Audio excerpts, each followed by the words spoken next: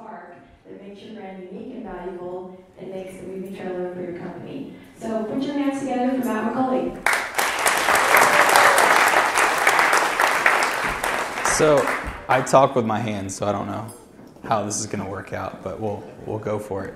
Um, thanks, Tonja. I don't. I should just leave now. Uh, first of all, let's give a hand to the the video guys because shooting events sucks, no matter what they tell you. Um, I'm gonna walk a lot too, so it's gonna be a problem, and I'm gonna show videos, so it's gonna be interesting. Um, how many people here have seen a movie in the last month or two at the theaters? Raise your hands. What movie? Um, Deadpool. Deadpool? Why'd you go see it? Because that's where my boyfriend wanted me to. That's what we were gonna go see. My boyfriend. Why did your boyfriend want to see it? I don't know. Just I think probably because it was just popular and But how did he know it was popular? social media. I mean, all of that. He saw a Oh, he's obsessed with trailers and videos. So he he saw a trailer. Uh, people go see movies, spend a ton of money based on a 30 second, two minute trailer. We just make that 30 second, two minute trailer for your business. And that's pretty much it. That's really all I wanted to say, but they said I got to talk for 30 minutes, so I'll keep going. Uh, I'm going to tell you a little bit about myself. Um, I have no presentation, sorry, I've never done this before. So, um, video is kind of, I know we talk about it like it's the shiny new object, but it's really been around since the camera's been around. And more so, it's just storytelling, just on video. And storytelling has been around since the beginning of time. So, really, it's the oldest form of marketing if you think about it. Um, my story is I kind of grew up in the camcorder boom. Um, I'm 30, going on about 16. Um, I know I look that way, but uh, My parents had a camcorder, and I was just always on camera, being really dumb. Um, I'm from South Carolina, and at the time I had a really southern accent. Um, and I spent most of my life on camera because my parents had a camcorder. And then they got a new one, and they handed one down to me, and I started making movies with my friends. And uh, it's really the only thing I've ever been good at. um, about when I was about 19, I thought maybe I should do this for a living, and then I moved to Portland, Oregon, which is just a few short hours from here, and was looking for a place to live. And uh, I started to go online and look for places, and I saw a bunch of virtual tours or slideshows and thought, these aren't that good. And I could do them a lot better. Uh, so I reached out to a few agents, uh, bought a camera, and started shooting uh, video tours for agents and turned that into a company. And then started to get to know the real estate agents and what they really wanted, and kind of built uh, these documentaries from that. Um, some other things I did while I was in Portland was I shot a lot of short films and really learned filmmaking and did a couple of web series. And I think we're going to show uh, my reel right now so I can stop talking. Yeah.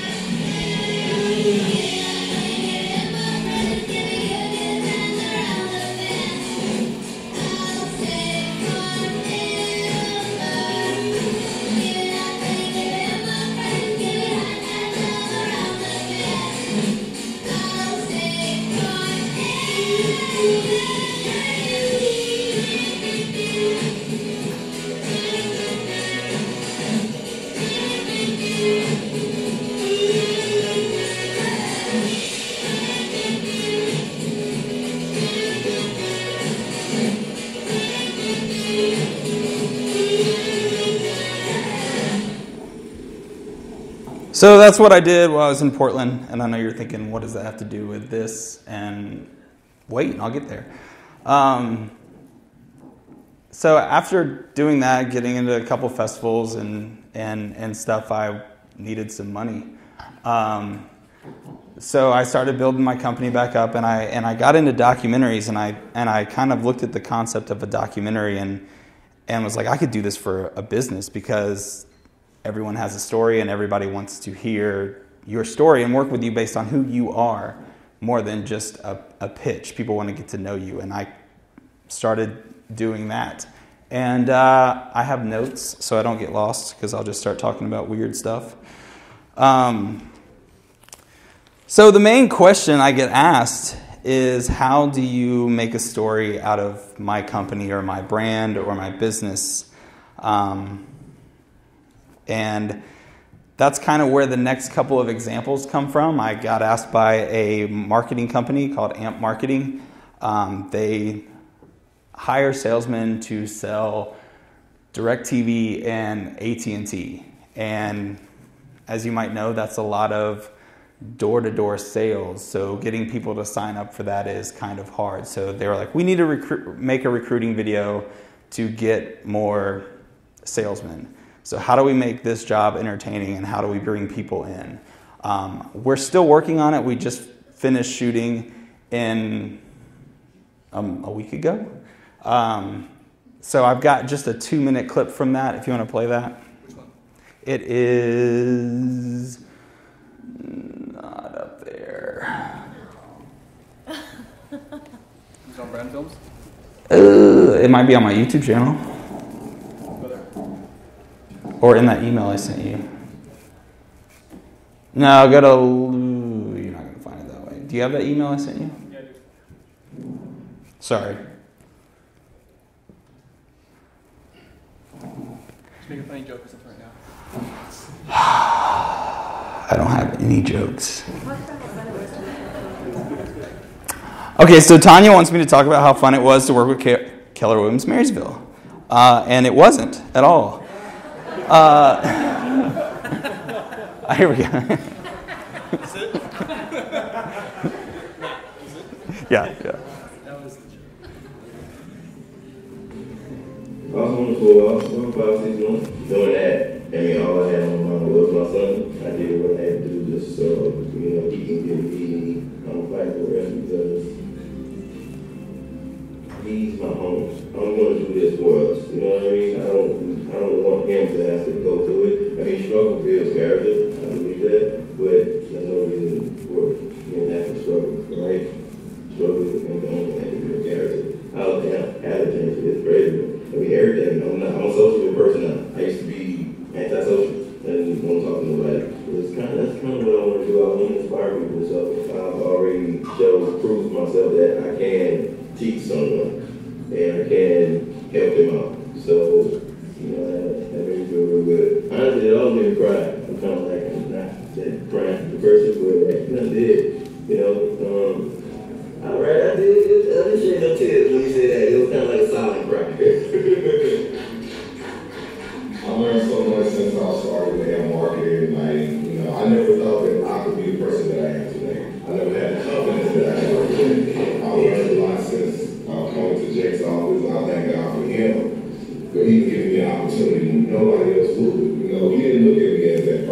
didn't look at the tattoos. He didn't look at the history. He looked at me as an individual. He gave me an opportunity. This company has transformed my life.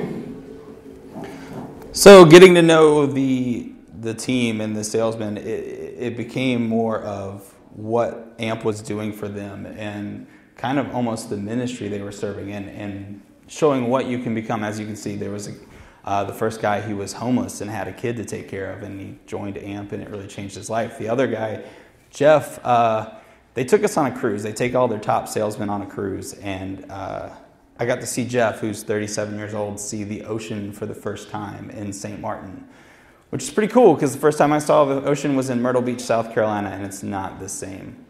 Um, so that, that's kind of, we just found the story. And in finding the story, we, we help them recruit uh, more people because people buy into your story.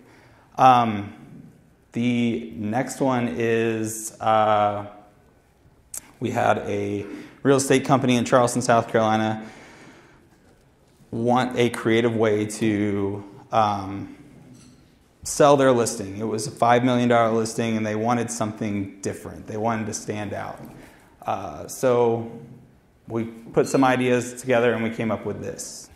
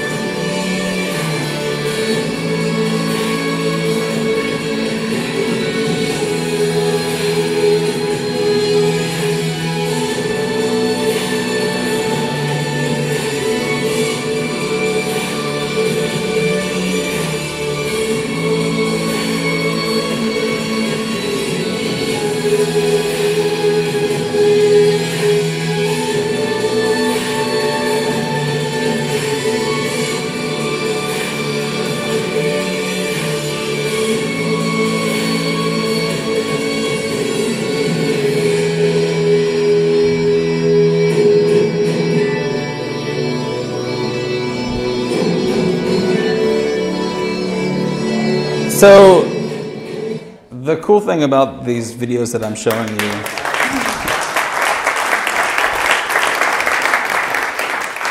The, thank you. The, the cool thing about these videos I'm showing you is that uh, those weren't actors, those were just people. Some, most of the time, it's just the business owner.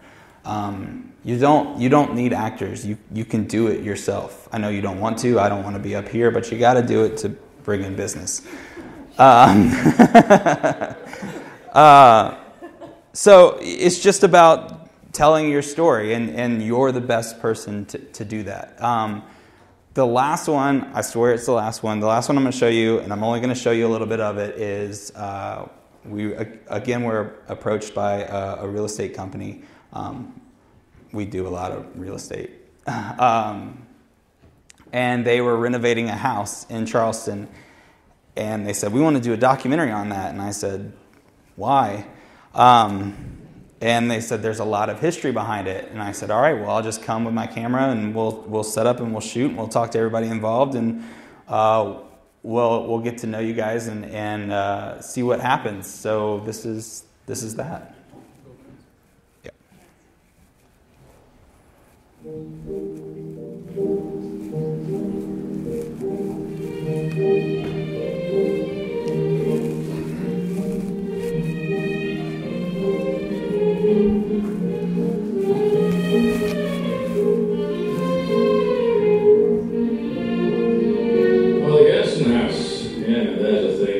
It, was a toothless appellation made, Um, she could be beautiful, but in truth, she was not at the time. It was given as a wedding present by um, Christopher Garrison, a Revolutionary War hero with a somewhat dark and unrecorded past um, that we've become aware of, to his, uh, his son-in-law and daughter, uh, built about 1798. For Charleston, it was one of the larger antebellum mansions in town, and it had been for sale for around 10 years, something like that. Christopher Gadsden served on the Marine Committee, um, which was uh, in charge of the newly formed Continental Navy.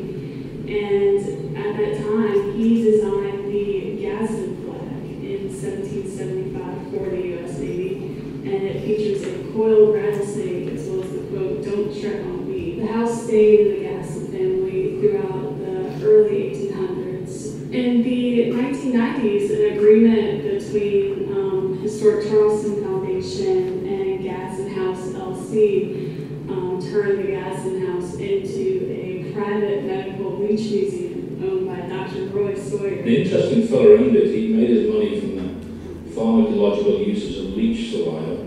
So the house actually had a leech museum and a bleeding museum in it, and full of lots of things that looked like soup bowls that apparently held pints and pints of Georgian blood in their time. He, he didn't need the money especially, um, but he did want to sell. He, he was getting on uh, rather in years living with his wife now in, in South Wales um, in, in the UK. So what we did was he approached him with a deal where we would put whatever it took to convert it into what it should have been, and he owner financed with a balloon in three years' time. So I guess I call that a win-win. At that time, before we began, the building was converted into apartments as well as office spaces for local businesses. We looked at this place uh, a number of times and couldn't quite find a good application for it.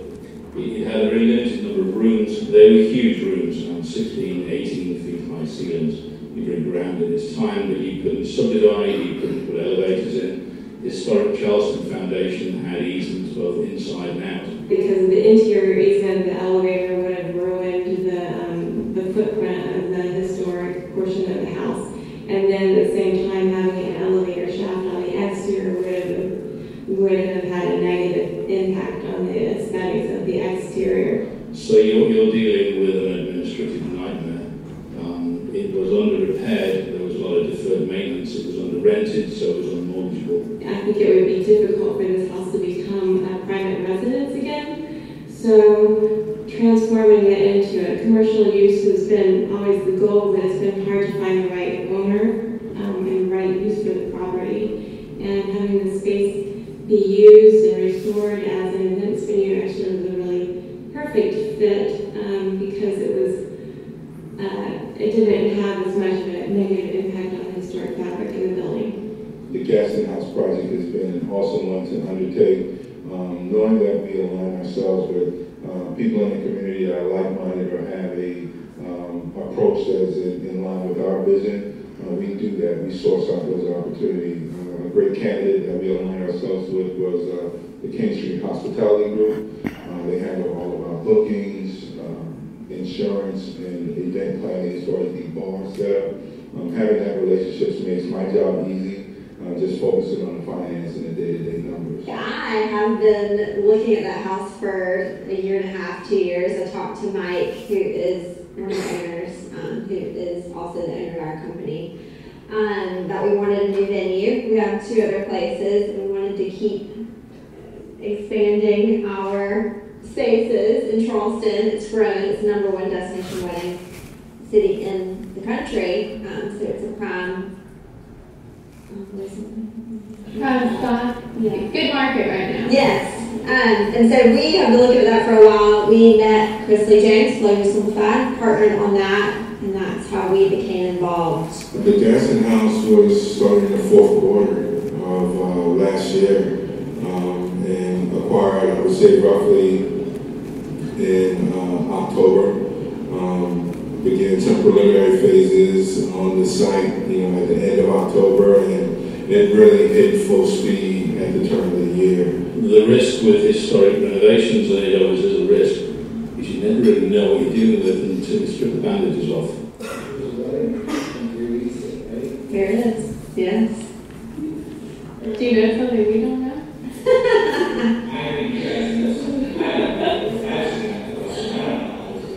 There's gonna, you know, there's gonna be a wedding. Um, surprisingly, the bride and groom thus far have been very laid back. Um, they are from Charleston, so they arrive every day and see the progress. Um, it may not be perfect, but we're not gonna not have that wedding there.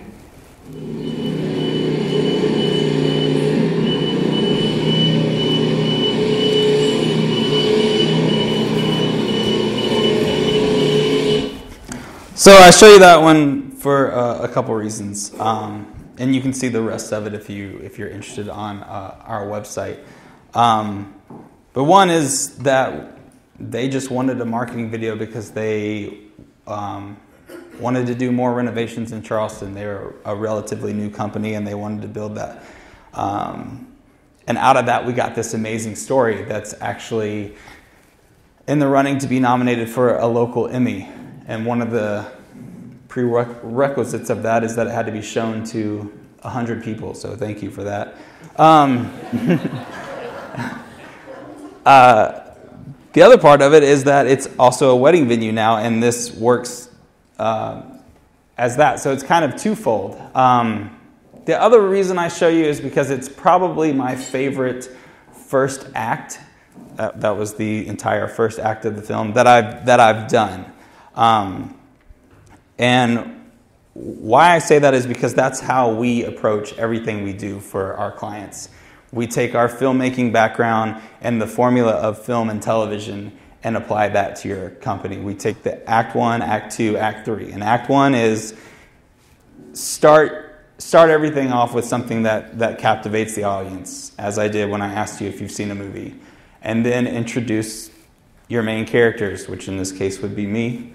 Um, and then every act ends with a question, which, which is what the movie is about, which is will the boy get the girl? Will Will Smith and Tom Cruise save the planet from aliens? Or how do I use video in my business? And then the whole second act is just throwing obstacles in the way of that. And I showed you examples of how we created these videos. And the third act, the second act ends with a cliffhanger, which I kind of cheated and, and, cut the video off on you. Um, but the third act kind of rips or wraps everything up. Um, so that's what I'm doing now. If, if there's anything you should take away from this, is that you you need to do video for your company, and that you should make it personal and you should tell your story. Um, you should find a way to captivate your audience and leave them at the right time wanting more. And with that, I'm done.